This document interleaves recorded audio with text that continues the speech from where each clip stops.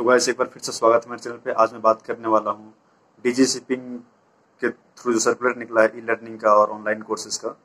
तो जो भी लोग अगर अपना एस टी डब्ल्यू रिन्यूअल कराना चाहते हैं और या कोई fresher S T W course करना चाहता है या और भी मॉडलर कोर्स या कॉम्पिटेंसी कोर्स करने चाह, करना चाहते हैं तो उन लोगों के लिए डी शिपिंग ने ई लर्निंग और ऑनलाइन सर्कुलर निकाला है, जिससे कि आप ऑनलाइन कोर्स करके सर्टिफिकेट ले सकते हैं। तो गैस इन, इसके सर्टेन प्रोसीजर्स हैं जो कि आपको फॉलो करने पड़ेंगे। तो गाइज़ ये पहली बार हो रहा है फ़र्स्ट टाइम हो रहा है इसीलिए बहुत लोगों को कन्फ्यूज़न है कि कैसे ई लर्निंग में क्या प्रोसीजर है कैसे फॉलो करना है, उसके बाद क्या करना है। तो बहुत सारे कन्फ्यूज़न मैंने देखे मेरे पे मैसेज आ रहे थे। और इनफैक्ट मेरा भी, मैं भी करने गया तो मेरा एक प्रॉब्लम के कारण मेरा कोर्स पोस्टपोन कर दिया गया है। तो मैं बताऊँगा कि आपका एक मिस्टेक आपको मतलब कोर्स करने से रोक सकता है। तो बने रहिए इस वीडियो के साथ और इस वीडियो को लाइक करें सब्सक्राइब करें। तो चलिए चलते हैं। अगर किसी को अपना एस डब्ल्यू कोर्स कोई मॉड्यूलर कोर्स है ठीक है या कोई भी कॉम्पिटेंसी कोर्स है उसको रिफ्रेश कराना है फिर से करना है और या उसकी वैलिडिटी खत्म हो चुकी है तो उसको दोबारा कर, करने जा रहे हैं तो आप ये जो प्रोसीजर्स है उसको ज़रूर फॉलो करें ताकि आप किसी मिस्टेक्स से बच बच सकें। तो सबसे पहले मैं आपको बता दूँ कि इसके प्रोसीजर्स क्या क्या हैं।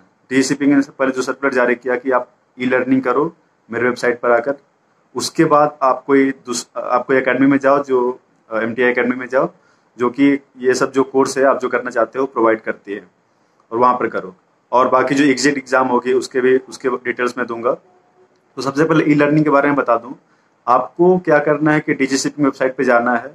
वहाँ पर ई लर्निंग का ऑप्शन है। ई लर्निंग में आपको इनरोल करना है।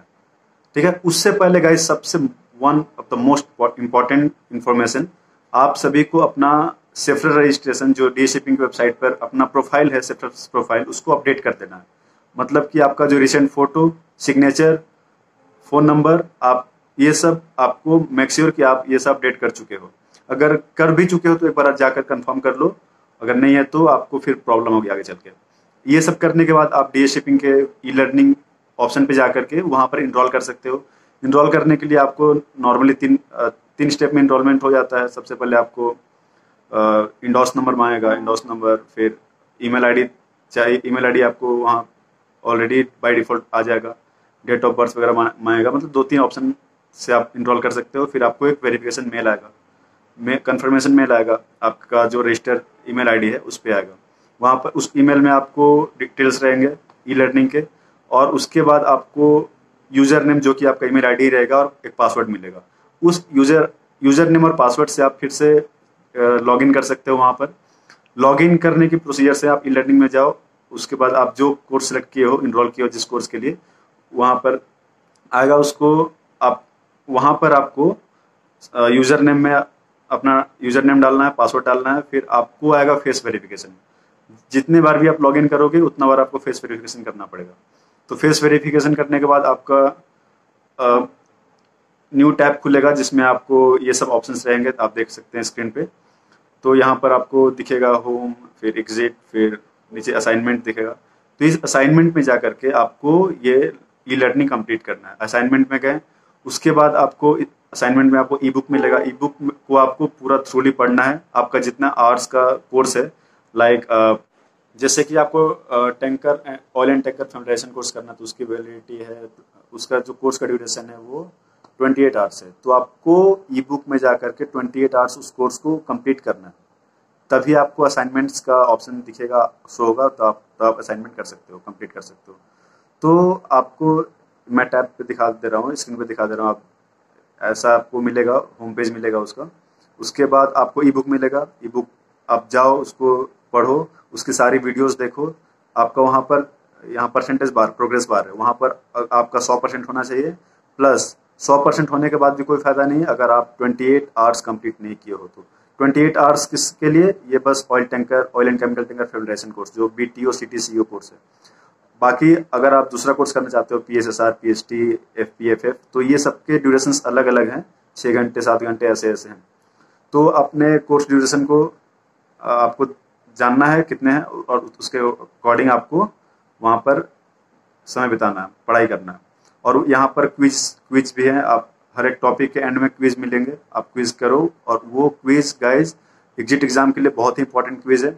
आप क्विज के स्क्रीनशॉट ले सकते हो क्विज सबमिट करने के बाद आपको जो राइट आंसर मिलेगा उसके स्क्रीनशॉट लेकर के रख सकते हो for your benefit in your exit exam तो ये रहा प्रोसीजर अगर आपको रिपोर्ट चेक करना कि आपको, आप कितने घंटे कर चुके हैं और कितना घंटा बाकी है, ये रिपोर्ट चेक करना है। तो आप नॉर्मली गाइज़ असाइनमेंट के असाइनमेंट का जो लाइन है असाइनमेंट फिर ऑप्शन आएँगे। यहाँ पर उसके लास्ट ऑप्शन रहेगा रिपोर्ट का। रिपोर्ट में आप क्लिक करो, आपको एक पीडीएफ खुलेगी। आपका उसमें सारा एनालिसिस रहेगा, आप कितना टाइम बिताया हो। इस कोर्स का ड्यूरेशन दिखेगा, उसके बाद आप एस टाइम दिखेगा परसेंटेज दिखेगा, कितना क्विज अटेम्प्ट किए हो, ये सब दिखेगा। तो यहाँ पर जा करके आप कर सकते हो। और गाइज़ कोर्स स्टार्ट करने से पहले यहाँ पर एक हेल्प हेल्प का ऑप्शन है। वहाँ हेल्प के ऑप्शन पे जा करके एक पीडीएफ खुलेगी। उसको पहले थ्रूली उस, उसको देखो, उसको पढ़ो। तो आपको एक बेसिक आइडिया हो जाएगा ई लर्निंग कोर्स के बारे में। उसके बाद ई लर्निंग कोर्स कंप्लीट कर लिए, आपका ड्यूरेशन कंप्लीट हो गया तो असाइनमेंट के लिए एक बार आएगा। असाइनमेंट में आपको क्लिक करना है। मेक श्योर गाइज़ आपके पास पीसी हो या लैपटॉप हो। आप फ़ोन से ये कोर्स ई लर्निंग का कोर्स मत करो, आपको बहुत प्रॉब्लम होगी। और आप करेंगे भी, उसके बाद एग्जिट एग्ज़ाम या असाइनमेंट प्लीज़ गाइज़ आप लैपटॉप या पीसी से ही करो। फ़ोन से ओपन नहीं होगा उसका पेज ठीक है? तो आपको एक लैपटॉप की ज़रूरत पड़ सकती है एग्ज़ाम के टाइम और उसके बाद गाइज़ आप हेल्प हेल्प में जा करके सारे अच्छे से पढ़ सक, पढ़ लिए। उसके बाद आप ई लर्निंग करो, उसके बाद असाइनमेंट अगर आपका कंप्लीट हो जाता है ड्यूरेशन एस टाइम कंप्लीट हो जाता है तो जैसे twenty eight hours for B B T O C T C O के लिए है basic oil tanker and chemical tanker familiarization तो वो अगर वो आप कंप्लीट कर कंप्लीट कर लेते हो तो असाइनमेंट का ऑप्शन आएगा असाइनमेंट आप दे सकते हो। इसमें बेसिक बेसिकली थर्टी क्वेश्चन रहेंगे फॉर थर्टी मिनट्स आपको फिफ्टी परसेंट लाना मतलब फिफ्टीन क्वेश्चन सही करने हैं। ठीक है? तब आप पास कर सकते हो इस कोर्स को। नहीं तो ये आपको तीन अटैम्प्ट में पास करना है। तीन अटैम्प्ट में अगर पास नहीं कर पाओगे तो आपको ये प्रोसीजर फिर से दोहराना होता है।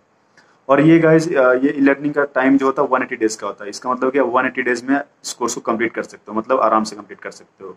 ठीक है? तो इस कोर्स को कंप्लीट करने के बाद आपका ई लर्निंग कंप्लीट हो गया असाइनमेंट कंप्लीट हो गया। उसके बाद आप एग्जिट एग्ज़ाम में जाओगे, आपको एग्जिट एग्ज़ाम देने का परमिशन नहीं मिलेगा, क्योंकि वो एग्ज़ाम आपको कोई इंस्टीट्यूट ही कंडक्ट कराएगी। तो अगर आप कोर्स कंप्लीट कर चुके हो ई लर्निंग का, उसके बाद आप जा करके कोई भी इंस्टीट्यूट से आप जा करके वो कोर्स कंप्लीट करो।